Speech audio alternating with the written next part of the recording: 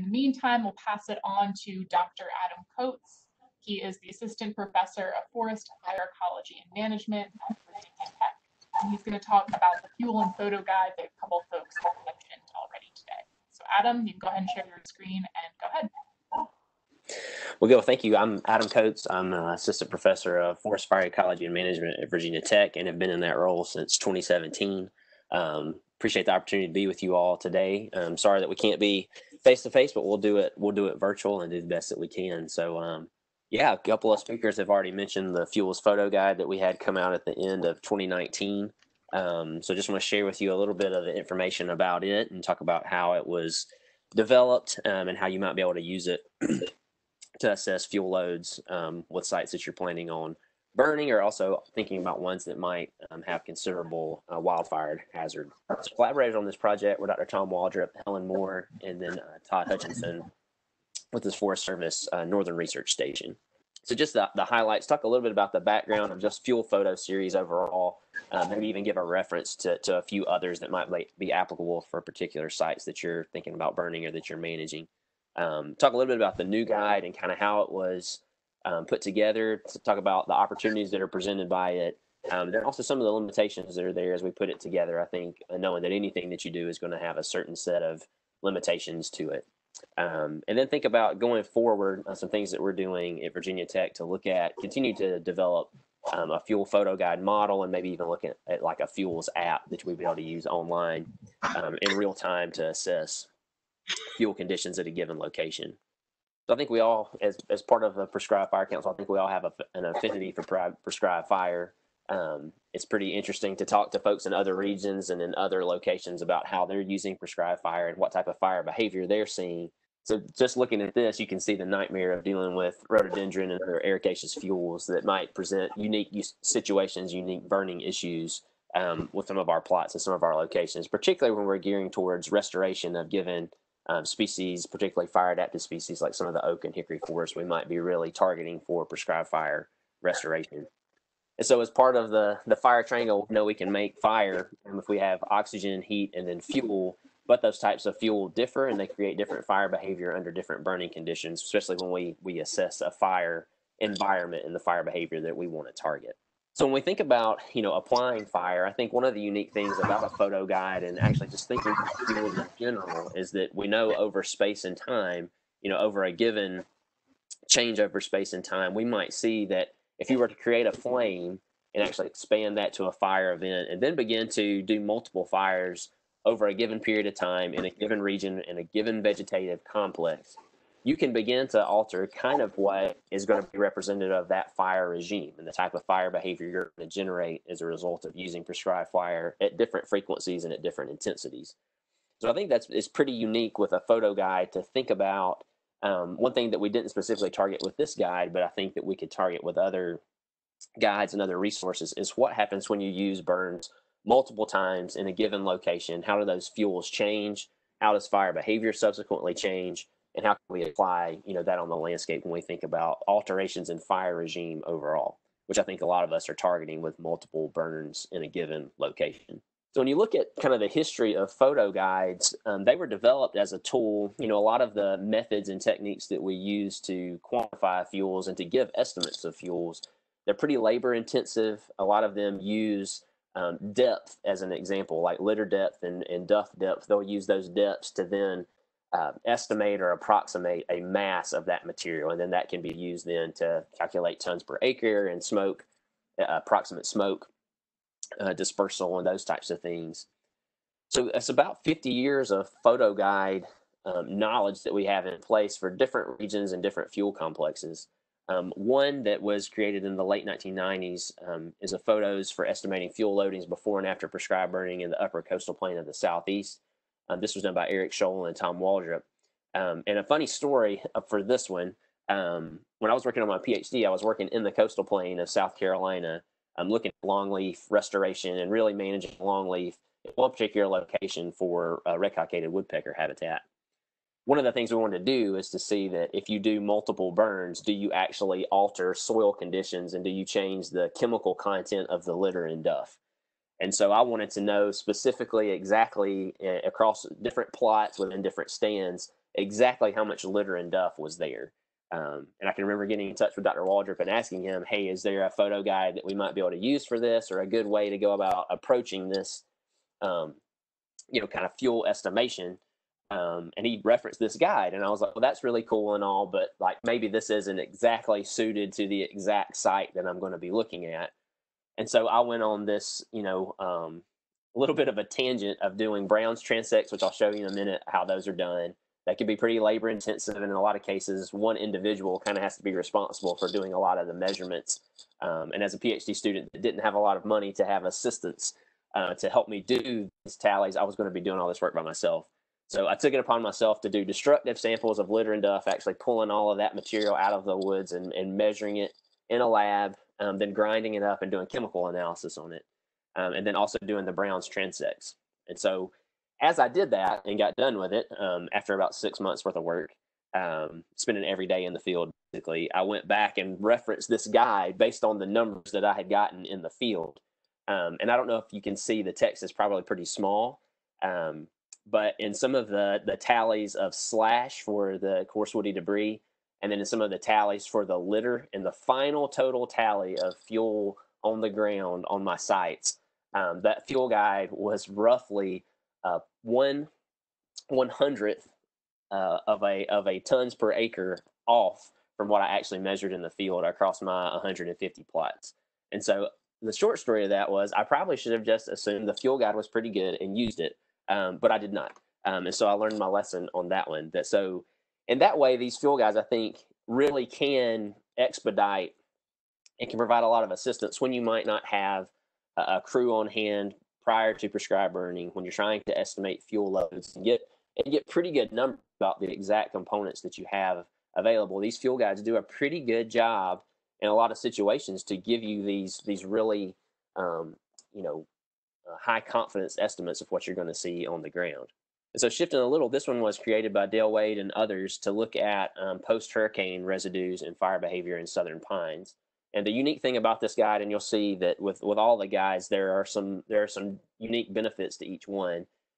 In this particular guide, you can see that he actually shows pictures of what a site looked like before, what it looked like during a fire, and then what it looked like after. Um, and then all of the stand conditions are stated here, the burning conditions when burning of the slash was conducted, what the relative fire behavior was when they were looking at crown damage left over within the stand. And so that's a pretty unique guide geared specifically for stands that may have been damaged um, as a result of hurricanes. Brose with the Northern Research Station with the Forest Service uh, created this guide called the Photo Guide for Estimating Fuel Loading and Fire Behavior in Mixed Oak Forests of the Mid Atlantic region. Um, and so this one is pretty unique for the sites that it kind of selected that there are different complexes that are listed. So you have one here that's listed as leaf litter. Again, a unique thing with this one is that there are pictures both before the stand was um, you know subjected to prescribed fire and then as it was burned. And so you can kind of see this kind of rough estimate of what fire behavior was given the weather and fire behavior that were present during the time of the burn. It has a leaf litter complex there are several other complexes that are listed including an ericaceous shrub component which would apply to many of us in a lot of locations um, the interesting thing here is it is geared more towards the mid-atlantic that's where these these plots were measured and so you're dealing with some in new jersey pennsylvania and other locations uh, further north so again, with these models, you know, the kind of the goal in the end is to think about well, once you have this idea of fuel mass, you have this idea of kind of the fuel bed, the fuel structure and arrangement that you might have in a given location. Hopefully, you could use these tools to kind of think about wildfire hazard and wildfire behavior, prescribed fire behavior, potential fire effects, and then think about smoke emissions when you take these loads and actually enter them into a software package. So when we get into the Appalachians, I think one of the the driving forces behind creating an Appalachian specific fuel guide was that you have all these different forest types that are represented. You know, all these eco zones that we could list where we would think about given their relative time since last burn or last disturbance even, you know, you're going to have unique fuel complexes that are represented in each one of these. And so how do we determine then we know that all of these um, may not necessitate and, and require fire for restoration um, quite like another one would. All of them are going to have different components that we seek to restore. All of them are going to have different, you know, fuel complexes that are represented in each one with different flammability and emission and things like that. So we really want to do a, a pretty good job of, of thinking about when we're thinking of the Southern Appalachians, especially what do these different fuel complexes look like as they're spread out across these eco zones, and you'll see that represented in the guide that we we put together last year. So the Southern Appalachian Guide, I actually listed the link to it in the chat if you wanted to pull it up and open it up. Um, Helen also offered to mail hard copies of it. We're really excited that we have it out. It's it's geared to be about a five by seven inch guide that could go in a vest pocket. It's got it's spiral bound, so you can open.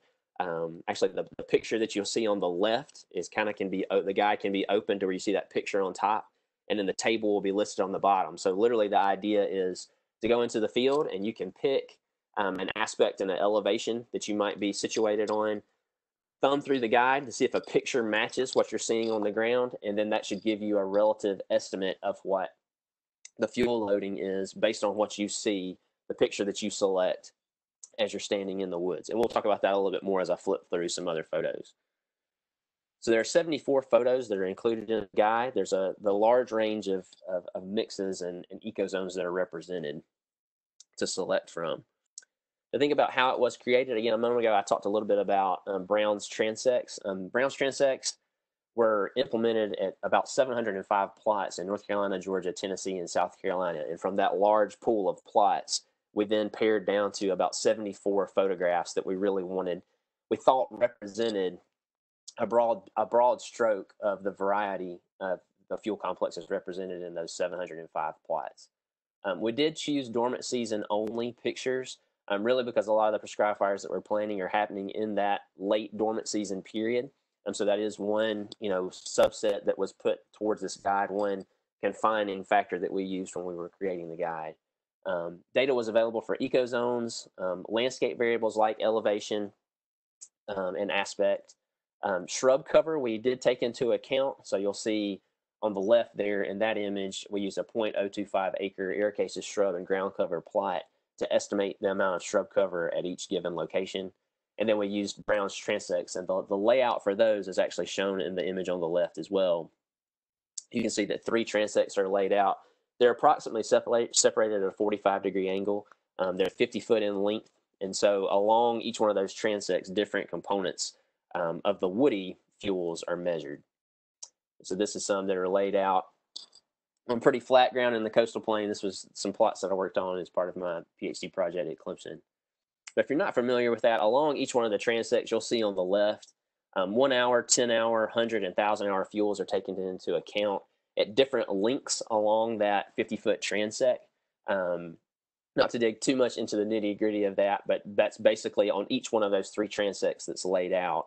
They're taken into a, a tally is done of each one of those fuel categories. And then later that is then taken from a tally count and separated into you're scaling up to tons per acre based on the tallies that you have. Um, along the transects at 12, 25, and 40 feet, we're taking uh, assessments also of litter, duff, and fuel bed depth. Um, so then thinking about what is the depth of the litter, what is the depth of the duff, and then what is the basically you can think of it as the depth or the height of any woody fuels that sit above that transect um, from the top of the litter layer all the way to the base of the woody fuel and so that we have that listed as fuel bed height. Thinking about again the top the kind of the depth of the woody fuels that are there. So again, how to use the guide? There are 12 aspect and elevation combinations that were created. You can see that we we really separated um, aspect into kind of four directions, thinking about northerly aspects, easterly, southerly, and then westerly aspects. Um, with elevation, we had 1,000 to 1,999 feet 2000 to 3499 and then anything above 3500 feet so again kind of the reference for using the guide is to know where you're situated on the landscape. You know if you're at a more northerly aspect at 3500 feet there is a section in the guide where you can select that specific location. Um, within that location there will be a set of photographs that you can choose from. Um, some that may be more geared toward heavier loads of coarse woody debris. Some that may be geared more towards uh, a heavier ericaceous shrub component. And so just sorting through the guide that way, hopefully as you're in the field, you can then kind of select um, and give a, the, the guide will then provide a reference of approximate fuel loading that you would see. Um, I, I, have it listed there kind of as a note, you know, one 10, 100 hour fuel load differences um, could be what points out the difference in what you're seeing on the ground as you're just seeing For example, if you're seeing more hundred hour fuels, you're in an area that's been you know more heavily impacted by wind damage or something like that. You may say, well, there is a heavier woody fuel load here. Maybe this photo fits that better. Um, you may also um, actually be able to see um, that basal area appears to differ. We don't have basal area actually listed in um, the photo guide um, due to the nature of the way the plots were taken. You all the basal area is relatively similar in a lot of the plots, and so we didn't specifically list basal area as a defining factor for each one of those. But you'll be able to see that as an approximation just by the way the photo is laid out. So here's some other examples for you. Um, here's one that is, is listed as the ecozone as a dry mesic oak forest. Um, you actually have aspect here of 125 degrees and elevation at 2,581 feet. Um, relative slope percentage is another landscape variable that we included. And then as you look at the photo, you know, you're actually being able to, to determine based on the photo kind of what you're seeing in terms of the, the, the way the fuels are laid out um, in terms of woody debris and the litter component that you might would be able to see. And so again, we have that listed out as the total woody fuels that are there between one, one plus 10 plus 100 then add the 1,000 hour fuels, and that should come up to, on this one, 18.2 tons per acre. Um, not a lot of ericaceous shrubs in this particular plot, and then also vegetation less than one foot tall we had listed here as potential source of thinking about in particularly these late dormant season burns, how much they might add to, to fire behavior. And so that can be a distinguishing feature, you know, with some of the aspect and elevation combinations that you might see. This was in an acidic cove, again, kind of at a northerly. Um, this one would be more of kind of an easterly aspect, thinking about the elevation of 1,000 to 1,999 feet. And so woody fuel loads here actually a good bit lower than in the last plot that we looked at. Um, no significant ericaceous shrub component here. Vegetation less than one foot tall that would contribute to fire behavior was listed as zero for this particular plot as well. So you can see the color here change. It goes to a green for the aspect and elevation combination of 226 degrees to 315 and then elevation greater than 3,500 feet. An ericaceous shrub plot for sure. And so it can be listed as over 100% here based on the idea that these shrubs were actually hanging out over the ericaceous shrub. The measurement of those, um, the plot, again, it was taken in a 0.025 acre plot the crown dimensions for each one of these shrubs was measured, and so you could get a percentage over 100 if those crown dimensions exceeded the size of the plot that we sampled in. So this is one of the ones that um, if you're a master's or a PhD student and you're having to work in these day in and day out, you may not uh, really enjoy too much and question your existence in some of these plots. But they are measured and they are there. And so it is a, a complex that a lot of us have to deal with thinking about prescribed fire, either for kind of natural breaks where we'll have uh, fire behavior kind of stymied and, and kind of tamped down, or in places if they're really, really dry, we could have um, kind of ladder fuels that are there to promote uh, fire behavior that we may not desire overall. And so those are included in the guide and a lot of the, the photos um, and the plots that were represented. Just into a different kind of mix here. Um, total woody fuels are at 7.2 tons per tons per acre. No significant ericaceous shrub cover, but about 7% of these plots were covered in uh, vegetation less than one foot tall and here a higher elevation, thinking about a, a more northerly plot here, um, 31% slope. You see that the aspect is 37 degrees of where the transect would actually ran for this plot. Um, and then a higher woody total woody fuel load um, that is largely uh, affected by a higher proportion of thousand hour fuels. And so when we're thinking about fire behavior and thinking about prescribed fire behavior in here, this may be a consideration that you have for some of the significant kind of effects of um, if the thousand hour fuels are actually going to be they're they're present on the site, but are they available to burn given the weather conditions and maybe days since precipitation that you're dealing with if you've gone through recent drought or any of that stuff. So that's listed in there as well.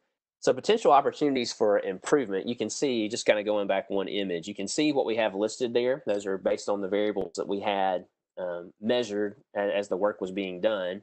Um, and then actually thinking about you know, um, what could we what could we confidently have assessment in, such as basal area and other variables that, that we might want to measure and, and know for a given plot. The thinking about moving forward, um, looking at disturbance history, so in places where we had high hemlock mortality, maybe southern pine beetle impacts, thinking about other disturbances that could be there that would largely contribute to um, an increase in particular components of the woody fuel base, especially. Um, that's something that we weren't specifically targeting with the guide. Um, that is one thing that I've currently been working on with some plots um, at Great Smoky Mountains National Park, thinking about hemlock mortality, especially to see if changes in fuels have taken place as hemlock has has kind of suffered from the adelgid um, in, the last 20 years. So we're comparing plots that were measured in the early 2000s to ones that were measured last year. Um, thinking about Mountain Laurel and rhododendron expansion um, could be something that would be targeted um, with maybe an addition, an addition to this guide or maybe a separate guide altogether.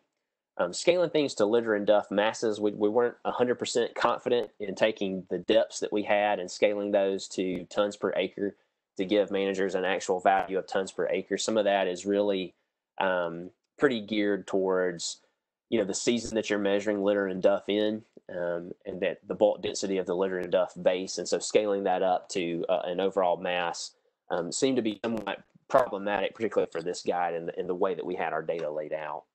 Um, thinking about burning in different seasons. Um, the burn images again that we used um, were particularly places that hadn't been burned for a while you know for, for, for 10 to 15 years and so thinking about locations that have been burned multiple times um, could be something else where we expand some of the opportunities for other fuel guides and other um, tools.